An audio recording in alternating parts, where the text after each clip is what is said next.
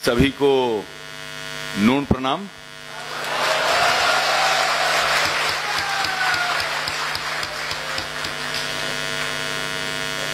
मंच पर उपस्थित माननीय फारूक अब्दुल्ला जी हमारे परिवार के बड़े माननीय राणा सोढ़ा जी सोड़ी जी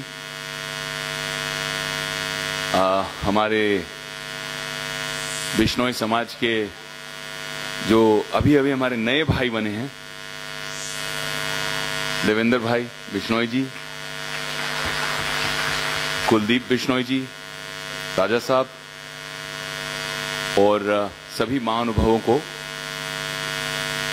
नमन करता हूँ। मुझे खुद पता नहीं था कि मैं यहाँ आज रहूँगा।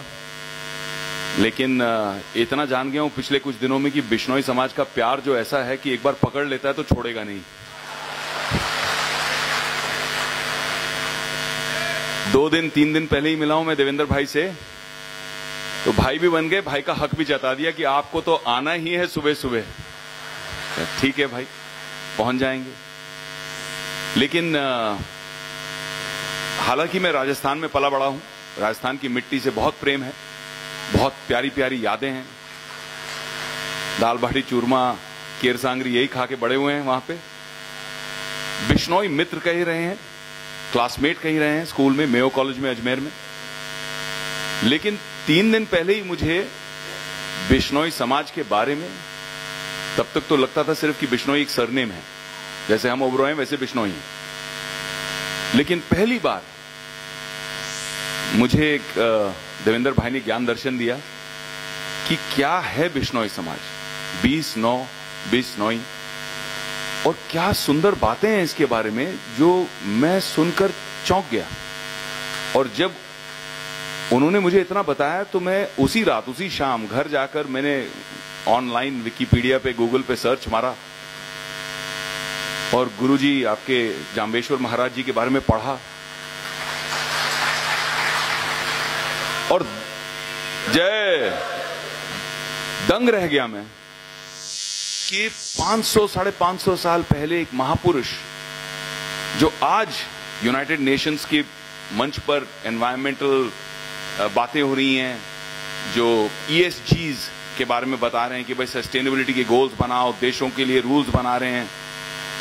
वही गोरे जो दुनिया में सारे पेड़ काट चुके हैं, अब वो बोल रहे हैं, पेड़ आप उगाओ। लोगों ने बहुत अलग अलग मिशन के लिए अपनी जान दी है। और उनको भी सराखों पर सलाम। लेकिन पेड़ों को, हमारी प्रकृति को, निसर्ग को बचाने के लिए जो बिश्नोई समाज का बलिदान है, उससे ऊँचा कोई बलिदान शायद दुनिया में नहीं है हमने जब अमृता देवी की कहानी पढ़ी, आँखों में आँसू आ गए। वो, उनकी बेटियाँ, जिस तरह का उनका बलिदान आज भी सन 1700 से लेकर आज भी याद किया जाता है तो मैं तो यही कहूँगा, देवेंद्र भाई, कुलदीप भाई, आप भी यहाँ हैं। वैसे आप, वैसे काफ़ी हैंडसम हीरो लग रहे हैं। मुझे लगता है कि इस टॉपिक पर बहुत सीरियसली फ़िल्म आपको बनानी चाहिए। भारत के ही नहीं, पूरे दुनिया के लोगों को जानना चाहिए, क्योंकि ये एक बहुत अमूल्य, हमारे देश का एक अमूल्य कोष है ये। ये हिस्ट्री जो है हमारी, ये जो हमारा, हमारी, ये कल्चर है, जो बिश्नोई समाज की इतनी सुंदर संस्कृति है, इसे दुनिया में बटना चाहिए, लोगों तक पहुँचना चाहिए।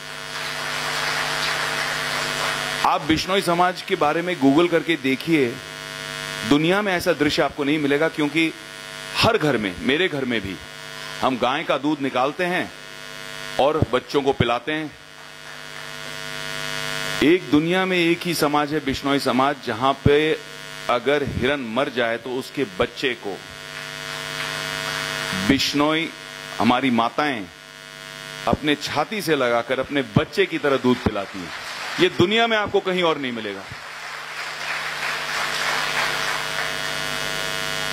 केवल तीन दिन में इतना इंप्रेशन मुझ पर जम गया है बिश्नोई समाज का। तो आप सभी को नतमस्तक होकर मैं प्रणाम करता हूँ। बस इस सुंदर कार्य में मेरे लायक कोई भी सेवा हो तो मैं हमेशा आपके साथ जुड़ा रहूँगा। जय हिंद।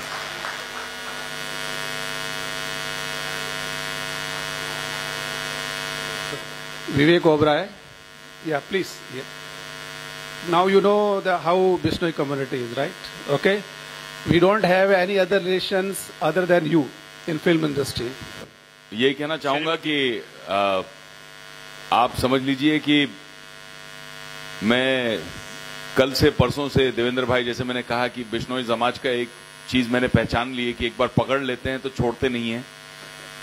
तो कल से मेरे नाम के आगे, विवेक ओब्रॉय के आगे बिश्नोई लगाना शुरू कर दिया इन्होंने।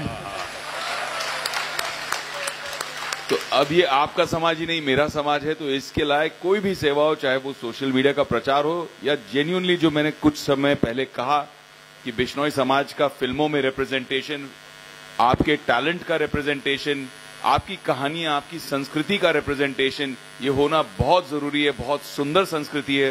पूरे भारत को ही नहीं, पूरे विश्व को बिश्नोई समाज के बारे में जानना चाहिए। इसमें अगर गुरु जाम्बेश्वर महाराज जी का आशीर्वाद रहा तो हम ज़रूर कोई कोई सहयोग करेंगे, मदद करेंगे। जय हिंद।